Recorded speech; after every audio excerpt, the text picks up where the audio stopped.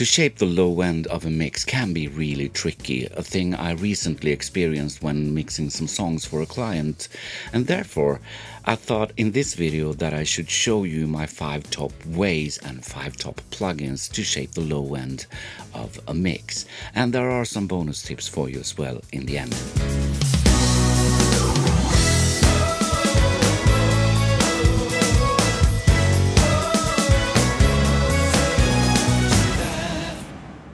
When we are referring to the low end, we are talking about frequencies below maybe 150 Hz. There lives mostly the bass drum and the bass, but it could also be low guitars, piano, synthesizers, toms, etc. We're not going to talk about tambourines and vocals in this video. And the bass drum and the bass, they need a lot of space to be able to have the energy they need to get a good low foundation of the mix. Presumably presume I don't know if you want a good foundation in the low end or not, but I certainly do most often. In this video I will show you my 5 go-to ways for shaping the low end, with a dedicated plugin for each way.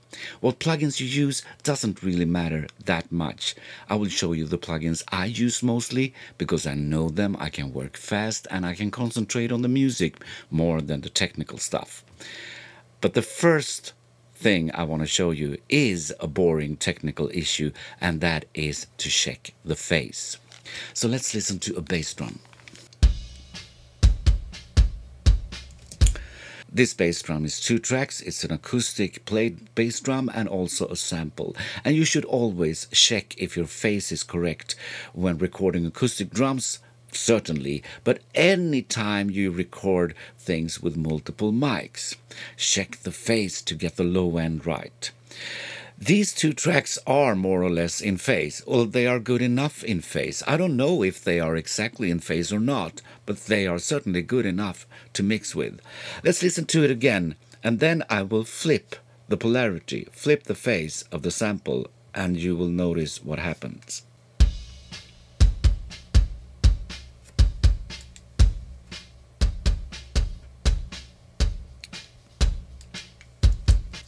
All the bottom end goes away because now they they are more out of phase from each other.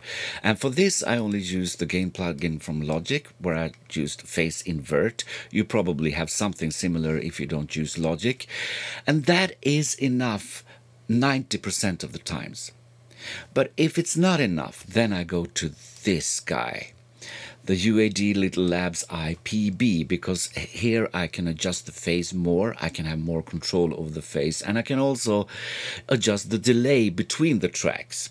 Sometimes you have to move the track in your DAW one, two, three milliseconds so the tracks align more together and therefore are more in phase. So the first tip is check your phase. The second is to use an EQ for taking away frequencies. Let's listen to a bass.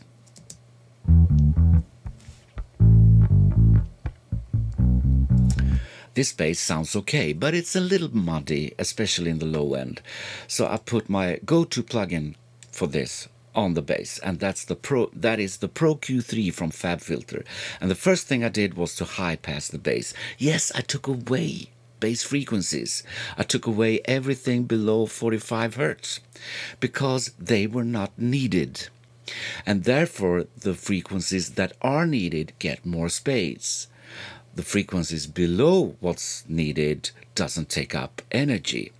And then I also notched out a couple of frequencies and I exaggerated the notches so you will be able to hear them. Now the bass sound like this.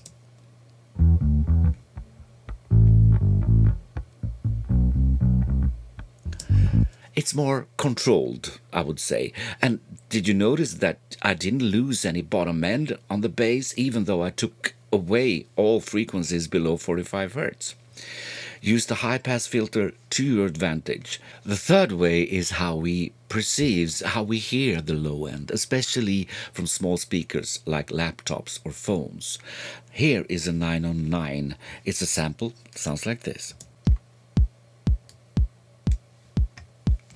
That will probably drown in a mix and you won't be able to hear it properly, especially in small speakers like from laptops. So I put a distortion on it, and this is my favorite distortion of all time. It's the FabFilter Saturn 2 it's my favorite because of many reasons, but I have oversampling, I can use different distortions on different frequency bands, and now it sounds like this. This is pretty subtle. Let me take it away and then I will put it in.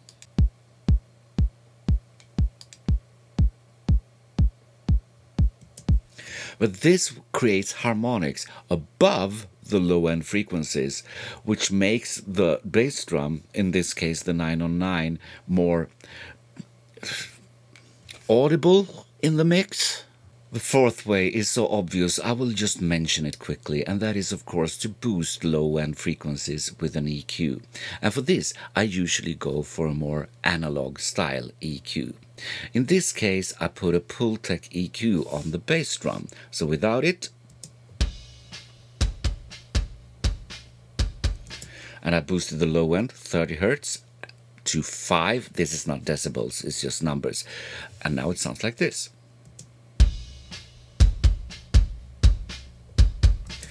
The Pultec is nice if you want a round, big low end. If you want a more pointy low end, maybe you should use another EQ, but this is one of my favorites. And my fifth way is to use some kind of subharmonic, a low end enhancer, you might say. And I will show it on the toms.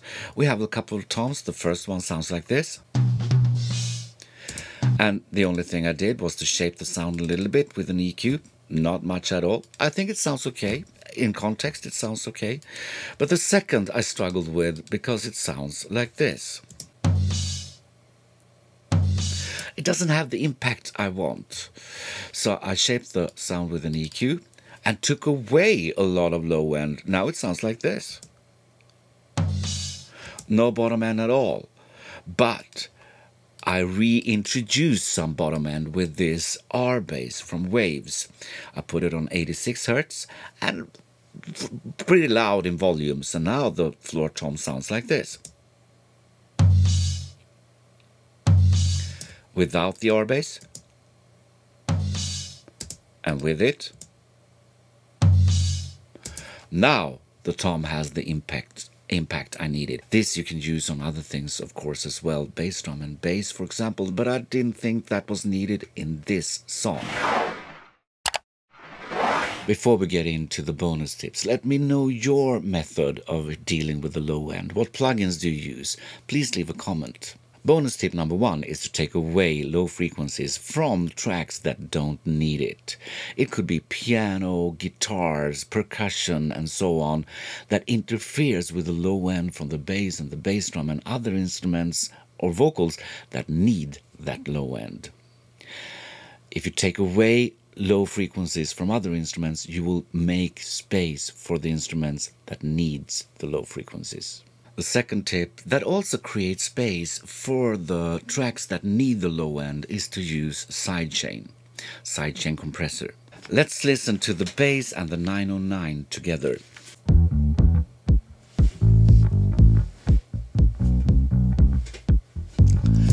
It's not the worst example in the world, but you can hear they are muddying together in a strange way, so you can't clearly hear the bass and the 909 as separate tracks. So therefore, I put a compressor with a sidechain from the 909 on the bass.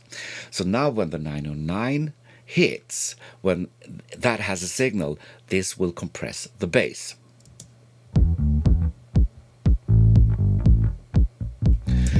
listen if you can hear the 909 more or less clear when the compressor is in.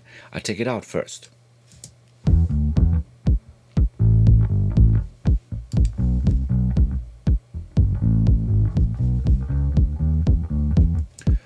And my favorite compressor for sidechaining is actually Logic's own compressor.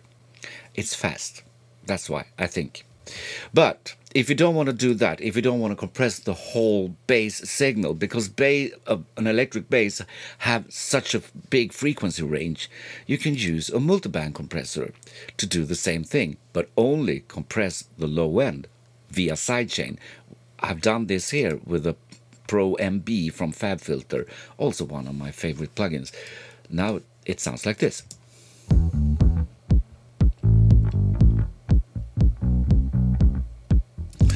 So everything above uh, around 200 hertz, the compressor won't touch, but it will compress the bass below 200 hertz to get more room for the 909. And my final bonus tip is to make your bass mono. And I usually do that on my master bus. My favorite plugin for it is this BX Digital V3 for several reasons, but I can adjust. This is an MS EQ, so I can adjust the sides and the mid separately, and therefore I can high pass the sides very easily, or I can just go on the mono maker. This is the whole mix with the bass in stereo, and then I will turn up the mono maker, and you will hear the difference because I will exaggerate it.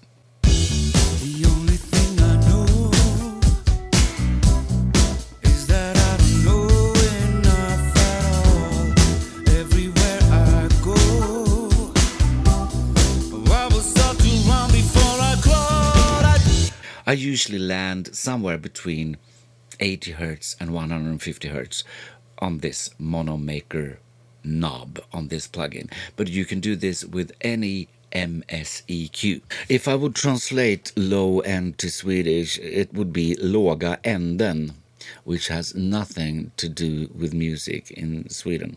Låga änden. Thank you so much for watching. Until next time, Roger that.